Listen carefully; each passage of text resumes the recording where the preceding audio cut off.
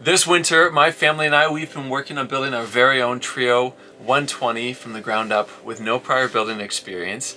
And today in our video, I want to talk to you about the two dormers that we added to our Avrame house. My name is Rob, and this is our Avrame home. When we were designing our kit, uh, we started talking with the designers about the ability to add dormers for added space. And so we've chose to add two. One of them is going to be for a bedroom for the kids. The reason why we've added the uh, dormer to their bedroom is because there's a good chance we're going to want to add a bunk bed to that. And by putting in a dormer, we're going to increase the ceiling height so that we can actually put a bunk bed and not worry about the slope of the A-frame impeding that. And so we've added just the standard uh, dormer there. It will extend out to the edge of the of the house and then come straight down in line with the edge of the actual A-frame, uh, just to give some extra headroom for the bedroom there. On the opposite side of the house, we've added one where we're going to have our front entryway. And we're doing that so that we actually have room for winter jackets and boots and coats. And when people come into the house, uh, they're not just walking in the front door and then it's our living room or something like that. We've lived in situations like that before. We really want to have a front entryway in this house. And so what we decided to do is not just to put a standard uh, normal size dormer, but to actually extend it an additional six feet, uh, making it uh, just a proper front entryway. And so uh, we, these are the two dormers that we've added. Um, if you're thinking of designing a, a kit yourself, uh, there's other options that you can consider too. We've seen people where they extend that dormer and use that for their kitchen, so they have room for their counters and their fridge and all that stuff. And we've also seen a few designs where it's a double wide dormer. Uh, not just a double long, but a double wide spanning two trusses. Um, so there's different options to, to consider when it comes to actually adding dormers to your to your build. But the, the point is, I would recommend adding them uh, so that you have that extra floor space and head space in certain uh, parts of the house. I decided that I was going to build our bedroom dormer first because it was the smaller one. It just seemed like it'd be easier for me to get done. And so what I did is I set out all of the lumber for that dormer on the concrete slab and assembled the wall. I then tried to lift that wall into place and realized it was going to be far too heavy for me to do by myself, but thankfully I still had our telehandler on site, and so I just picked it up with the telehandler, moved it to the outside of the house, and then using our quad, which has a winch on it, and the use of a ratchet strap, I just dragged it up over top of the beam of that dormer, and then with Katie's help, I pushed it away and we added some 2x4s to just brace it temporarily in place. I then came back the next day and added the ceiling components and the roof components and made sure that the wall itself was perfectly plumb, uh, which means level in a straight up and down uh, manner. Made sure it was perfectly plumb, added all those ceiling, ceiling pieces, and then added the horizontal pieces onto the sides of the dormer. Uh, those were held on using these metal brackets and what was basically just like a 2x4 sitting on top of them, uh, holding it all into place.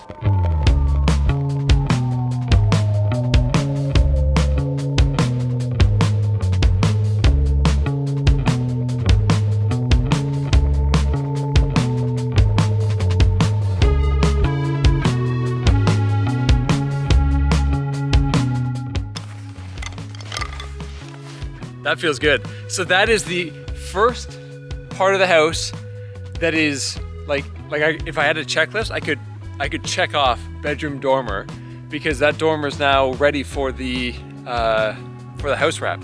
Once that dormer was done, uh, we then moved on to the front entry one. And I actually had a friend uh, who he, when he was here helping me do some of the framing, he assembled that wall, same thing on the slab. And when I went to install it, I actually had a friend on site, which made it a whole lot easier. Uh, this front entry dormer, the wall is, is larger because it's further from the house. Uh, it's a taller wall. Uh, anyway, we worked on that one together. We used the telehandler, just like before, to carry it out of the house, off the slab, and to position it on the outside of the building. And then, using some ratchet straps, we lifted that wall into the air, uh, almost like you would if you had a crane on site. And then my friend, he positioned it while I lowered it down using a telehandler. And same as with the other dormer, we used some 2x4s to just brace it so that it was in a plumb position. Once that was all plumb and supported, I then got started on working on the ceiling components of the, of the dormer.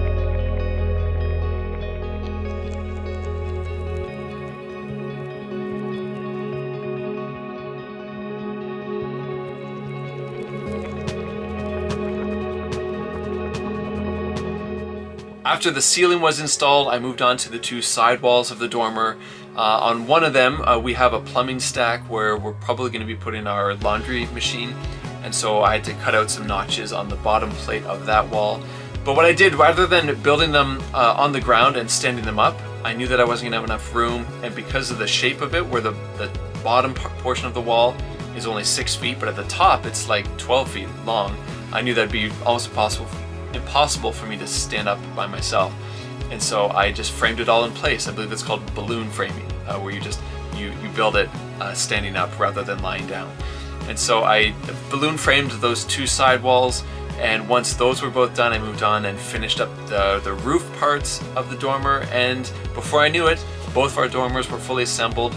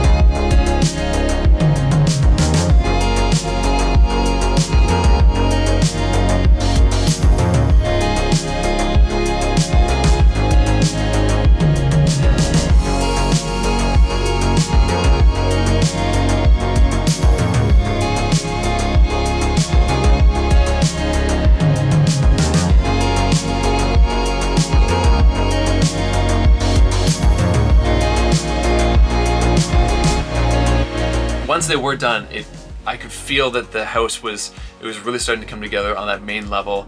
I could see the front entry, I could see the bedroom, and it started to be actually like it would make sense in my head how the house was actually going to feel on the inside. Well, that's how we assembled our two dormers for our house. I want to encourage you to like and to subscribe if you actually appreciated this content. And I'll encourage you to follow along because we've got a lot of house left to build and we are documenting every single component of it and we want to show you just how we are uh, doing this, building our very own Avrame Trio 120 from the ground up by ourselves with no prior building experience. My name is Rob and we'll see you next time.